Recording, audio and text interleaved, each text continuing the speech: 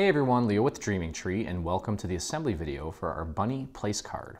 I've got all my pieces cut out in front of me. Now, uh, we actually redid this file to include a version, and you'll find this in your extras folder uh, with the bunny with the full ear. Initially, when this was designed, uh, we wanted to make it quick and uh, use less paper because we knew this was going to be mass produced. Uh, but there were a few people that commented that they kind of wished that the bunny had full ears here, so uh, we've included that. So we're going to have a version 1, and that's the one that's already on the site. This is going to be version 2 of the assembly. Okay, so what we're going to do is, and of course this piece here is the piece that you can use. Uh, you can do a print and cut on this. Um, I actually just used my machine and I had it write the name out, so that's always an option. This is going to get glued right onto this piece here. So what we're actually going to do is apply glue to the face of this section. Uh, since this part is still cut off up here, we don't want to put glue on the other section here that we're gluing on top of it because we're, we're going to end up with some glue uh, in spots up here by the ear where we don't need glue. So we'll avoid doing that. Okay, and we're just going to line this up with what I'll call the, the shadow that's behind there. And just make sure that you get it all the way up onto the ears. Okay, the ears are somewhat independent, so just make sure that you get them nice and aligned. You can press that down flat on your table. Okay, so there we go. We've got the nice ears now.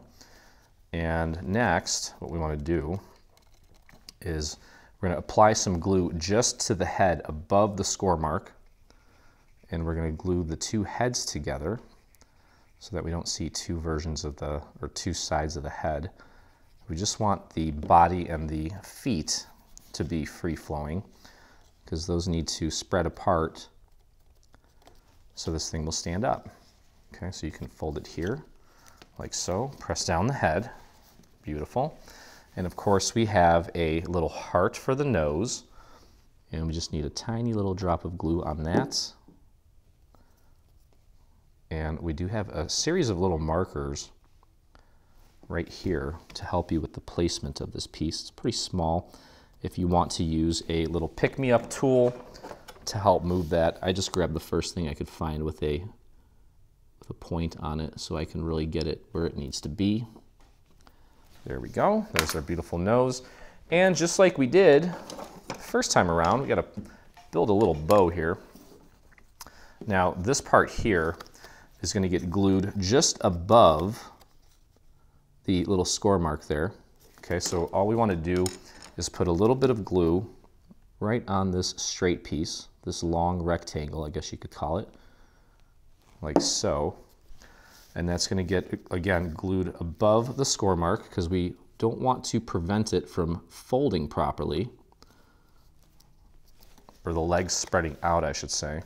Okay, that looks great. And to construct our bow, what you want to do, you'll notice that there's a little square in the center. It's like a rec actually it's more of a rectangle. And we have two little rectangular tabs at the end of each of the loops. What I'm going to do is flip it over and starting from the inside, place a dowel, a nice skinny dowel, between your finger and the loop. Lift up the loop about 90 degrees and run it through a handful of times just to loosen up those fibers in there. So it's easier to bring this in to the center.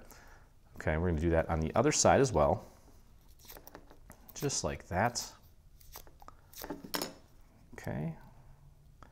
And then what we're gonna do, starting with one loop at a time, I'm just gonna put a little bit of glue on this small rectangle, very thin amount. We're gonna bring that rectangle and match it up with the rectangle in the center of the bow.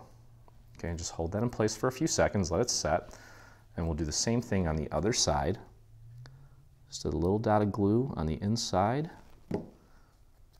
Spread that out if you got too much on there and bring it in right on top of the little rectangle from the previous, or from the, the loop on the other side. And just hold that right in the center until you end up with a bow. Whoops, I let it go too soon. Don't do that. Just be patient. And I may need to actually reapply my glue. And that's what happens. You rush it, you'll end up with issues like that, especially because um, there's a lot of resistance here because that, that loop, it's not completely flat. So those little fibers in the paper are trying to stiffen back out and be straight. There's re resistance right here at this curb. Okay, so that's gonna happen. And then finally, we have this little piece. And what we're gonna do is pop that right in the center of the bow, make sure it's centered, and then literally just take it and fold it back behind. Okay, and then we'll flip this over and then take a little bit of glue, place it on one end of that little center piece and fold it right onto the back of the bow and just hold that in place for a few seconds. And there we have our cute little bow. Move that over to the center a little bit. And then finally, um, if you want to use some hot glue, you can. We're going to glue this all the way to the right-hand side of his little scarf.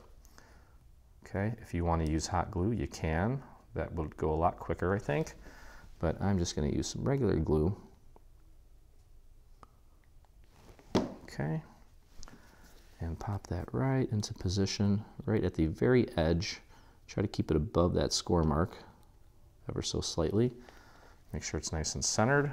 And there we have it. And then of course, if you saw the original version that I posted, uh, I found a beautiful little piece of bling that I added to the center of it, just like that. And I would use glue to hold that in place just because, well, I mean, some of your stones, your rhinestones or your pearls may have an adhesive backing that is already built in. Personally, don't trust those. So definitely use some real glue to hold that in place and voila, beautiful. And there it goes. Okay, so that is what it's gonna look like. And there is our version two of our bunny with a full set of ears per your requests. So anyway, I hope you guys enjoyed the video. If you did, please visit us on YouTube, hit that subscribe button. While you're there, hit the little bell so you get notifications anytime we release a new product, whether it be paid or free. And if you make this or anything from our Bunny Trail bundle that we just released, I'd love to see it, and so would the rest of our community. So head over to your Facebook and do a search for Dreaming Tree Official.